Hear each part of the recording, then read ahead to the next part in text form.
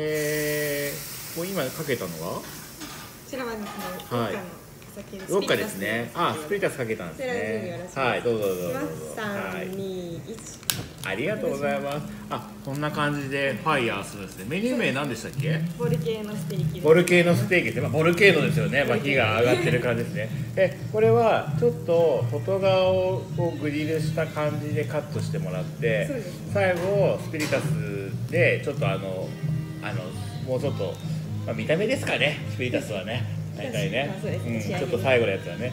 はい。ありがとうございます。これあのソースと一緒に食べていくと美味しいかなって感じですかね。そうですね。はい。はい。ありがとう